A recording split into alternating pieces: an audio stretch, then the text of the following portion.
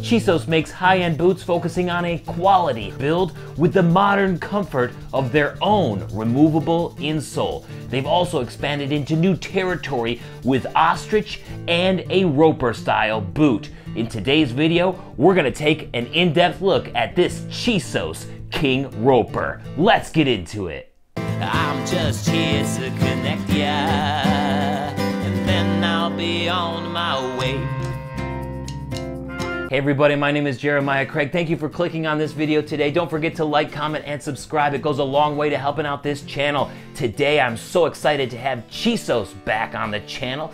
One, because this is their first Roper boot. They've had lots of requests, and they finally made a Roper boot. And number two, this is their first ostrich boot and they went all in on the ostrich too because even the top up here is smooth ostrich everywhere on the outside is ostrich. So I'm so excited to get into this.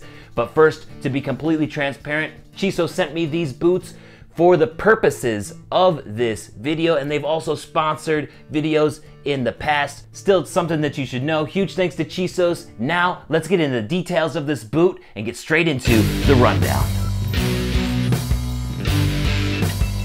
This is the Chisos King Roper, and it's full quill ostrich around the foot here, and you do have some of the smaller quills around the counter. It is beautiful. Many other companies would call this color honey or cognac, but Chisos is calling it burnt orange, and that's in honor of the University of Texas.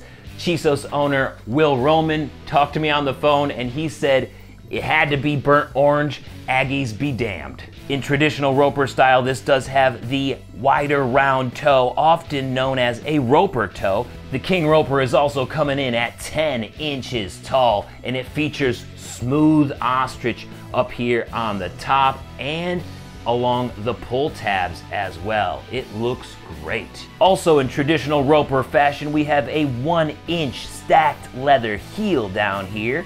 For an outsole, it is a 10 iron leather outsole with a bunch of lemonwood pegs in here and a few brass nails as well.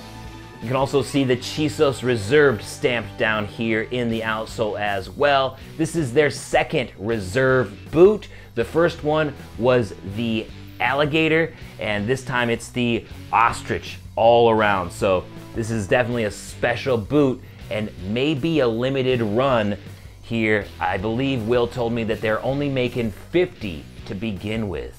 On the inside, it's a hung leather lining that uses that red leather we know Chisos for, and it also has covered up the pull straps on the inside as well. So not only does it cover up the seam that might run against your leg in some other boots, but it's also covering up the pull strap, which on some brands of boots can also rub against your leg. And because this comes down a little bit shorter, it also has a more narrow opening than the previous Chisos. Of course, as an insole, we have their removable insole that is special to Chisos and Chisos alone. It's got that red leather lining that's really, really soft up here on the top, and then a combination of foam down here on the bottom. And then underneath that, you do have the traditional hard leather insole. Chisos King Roper is coming in at $1,200 and it's made in Mexico. Now it's time to try this boot on and see how it looks and feels. All right, I got on the Chisos King Roper right now and they feel great. The first thing that I'm noticing while wearing this boot is the fact that I don't feel quite as tall as the Chisos number one obviously, Jeremiah. I mean, you have an extra half an inch on those, but then you got to remember how thick the insole is too. It felt like, you know, you're really standing on top of the boot in the Chisos number one. Here in the Roper, wow, that insole is awesome. I feel like this is the perfect place for the Chisos insole is inside a Roper. Feels great. One thing that uh, Will mentioned on the phone, Will, the owner of Chisos, is that the heel measurement in the back is just a little bit more narrow. And I'm definitely noticing that it is cupping my heel a little bit more on the sides. but it's a nice, comfortable hug. You know what I'm saying? I'm still getting the kind of heel slip that I would expect and that what I would want. So it's a nice, different change from the number one that uh, you guys might enjoy quite a bit on these ropers. The ostrich leather, let's talk about that because it's not as supple as some other ostrich leathers that you may have tried in the past. Uh, of course, you know, that could differ between boots. Like you might find a more supple one uh, depending on the leather. It is a natural product. You got to remember that. Um, but, you know, I have experienced other boots that are more supple than this as far as ostrich is concerned but it does feel like it will break in really nice. All right, here is the POV shot. Can definitely tell it's a roper by that toe shape. It's a good look. That's a good look there. And I'm liking how it works with this uh, Levi's 517 jean as well. Now it's time to see how these break in. So let's get out in the world, go on an adventure, and do an extended test. I took these Chisos to the western part of New York State where I grew up and explored a local cheese plant, East Hill Creamery, in the town of Perry. New York State is the fourth largest producer of dairy products in America, and the East Hill Creamery has been awarded as one of the best. Since much of the factory is treated like a clean room in a lab, my wife and I were led to a break room where we suited up with special coats and hairnets to protect the cheese. I also had to put booties over these chisos as well. Then we walked into a wonderland of cheese making by our tour guide and East Hill Creamery owner, Gary Burley, who showed us the machines used in every process of making cheese, but the most magical part of it all was when he led us to the cheese caves. So we got basically two different types of cheese we make. We make the raclette and we make the comté. By aging at different days, then we have eight different types of cheeses that fit a different taste profile. You can hear about being a flipping these wheels. So these have to be flipped twice a week because what happens is the bottoms, we're doing the morge so it's damp. So we set it set there and then we have to flip it because it gets damp on the bottom so you gotta let it air and then she morges it this the next time through and flip it and then the next time she's through she morges this a lot of labor. Yeah, every section we, we know what wheel it is because sometimes these get smeared or you can't read them. So we know where every, every, every wheel is doing. There were more caves too, with even older cheeses they call cave monsters. This cheese here is close to five years old. And so you can see defects here. It's beginning to get just like a, as we get old, we have defects and they're beginning to pronounce. But Gary had a more impressive batch to show us. It does, but it's amazing cheese. That's winter milk, so that was March. So it wasn't on grass, it was on dry hay. And it, where it was in the cave, which was right along here, it's more, in the wintertime, it's more damp back in here um, because of insulation and it just created an entirely different type of cheese versus these, even though we use the same recipe to make it. And that's the magic of making cheese. Before we started the tour, I'd gone upstairs at their factory to learn more about the history of dairy and cheese in the region.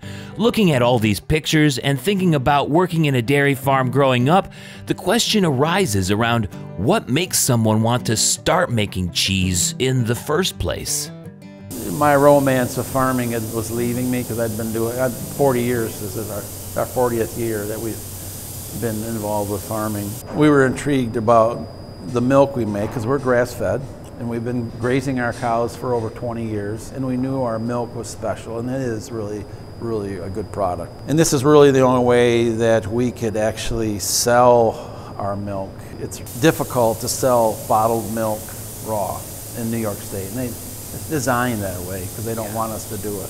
So we we're looking at cheese, and we went to a cheese making course in Binghamton, New York, and we were in this little plant, you know, and we had our own little kettle of milk, and we were adding the rennet and the culture and stirring it by hand and cutting it by hand, and and it, you know, we basically drank the Kool-Aid there, yeah, and uh, you know, even more intrigued, my wife, you know, we went home and started making it in the kitchen, which is all, an all-day affair to make a piece of cheese about this big. Yeah.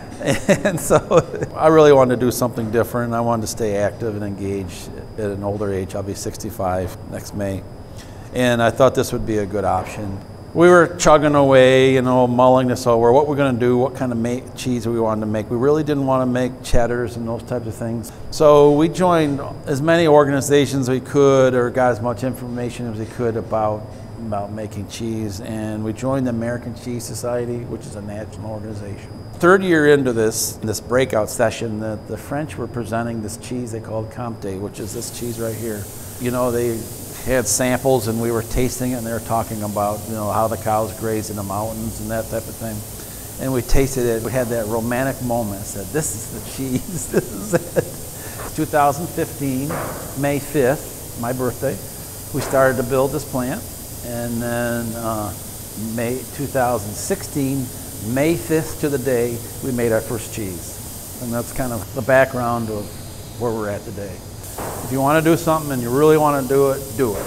Don't, don't walk away in regret.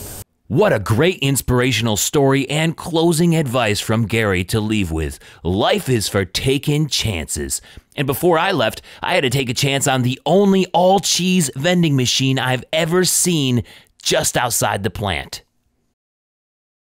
Success! Cheese and Chisos made this a great day. Huge thanks to East Hill Creamery for taking me on a tour of their cheese factory. It was awesome and the cheese they make is delicious. You guys can visit easthillcreamery.com and order some directly from their website and they'll ship to you. I highly recommend that you do so. It is delicious. Now on to my final thoughts for this Chisos King Roper. This high-end ostrich boot is nearly everything that I would want in a boot like this, and I feel like the Chisos insole works better with this Roper style than it does in their previous models. I like how short the boot is, which lives up to its Roper name, but also how narrow the opening is.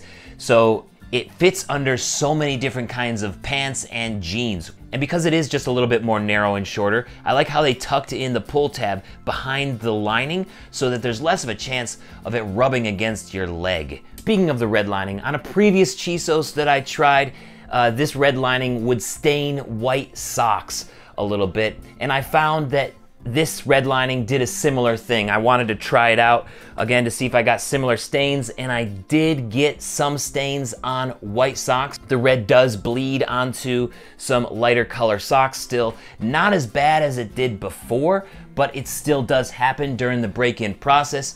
So I would recommend wearing darker socks just in case. I can't say that it will happen to all white socks, but it did happen again to these. Uh, so you might want to wear darker socks if that's something that you cared about uh, just during the break-in process here. Let's talk about the break-in a little bit because this ostrich leather isn't quite as supple as some other ostrich leathers that I've tried. Now, that could be because ostrich is a natural animal, right? The leathers between the different animals will be different. That's just the nature of leather. Um, this is a little bit more thick than I've tried in the past, and part of that also could be because of the liner and how much more thick it is compared to other brands. Um, but just know that you might need to break in this ostrich boot a little bit more than you've had to break in ostrich boots in the past from other brands. The fit at the heel is just a little bit more narrow in here, uh, which worked well for me because I have a narrow foot and I also got a little bit more toe room up here in the toe box because it does have that wider round roper toe. So I liked the toe room that I had, a little bit snug at the heel, uh, but I still did get the proper heel slip that you're supposed to get with a Western boot. I did have to use a boot jack more often than I usually do to get these boots off. And if you find yourself in a similar situation, uh, I do have a foldable boot jack, all aluminum, real durable, made here in the USA by Twisted Willow Fabrication that you can get at my store.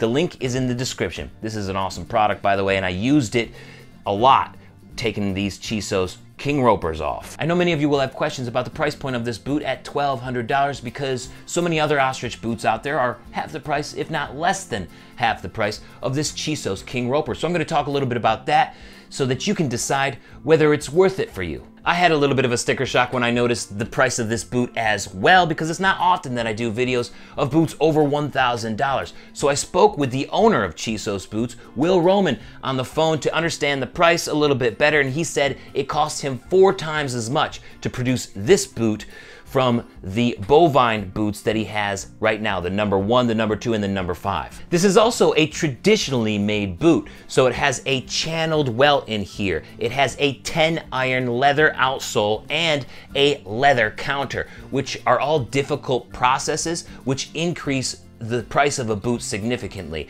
When you get down into the 400 to $500 ostrich boot range, many times, not always, many times, the brand will use a cloth rib on the inside to attach the leather outsole and the welt, which is an okay process, but it might mean that you can't resole those boots as many times as you can with a traditional channeled welt. I really wouldn't consider brands that use those techniques to be competitors of Chisos though. I would consider higher end brands like Lucchese and Heritage Boots to be a Chisos competitor because they both use traditional techniques just like Chisos does, and both of those brands have ostrich boots that are $1,200 plus. On top of that, this boot is all ostrich, not only full quill down here on the foot, but smooth ostrich on the top and the pull tabs, which increases the price again because ostrich is more expensive than goat or cowhide, which many other brands will use for the top and the pull tabs, which is completely reasonable. It just depends on what you're looking for. So if you're looking for a high-end traditionally made boot but aren't such a fan of the hard leather insole that are so common in those traditionally made boots, then the Chisos might be a good option for you because it does have that luxurious feeling, removable insole that's topped with leather. It feels great in this Roper boot too. Personally, I'm more of a fan of the traditional hard leather insole feeling, but I know that's not the case with many of you out there. So this fills a unique niche in the market, and I know many people will enjoy it. But what do you think about the Chisos King Roper? Let me know down in the comments. Thank you so much for watching today. I think you're all awesome. Why don't you subscribe while you're here, and I will see you guys around. Peace. As I walked out in the Chisos King Ropers, as I walked out in the Chisos one day, I felt all the comfort from their luxurious insole. Yes, the build and the ostrich of these Chisos are great. Yes. Thanks for watching today. Want you to check out my last video, Chisos up here. Or I got a video down here about a song that I made. Don't forget to subscribe and I'll see you next time. Peace. Have a good one.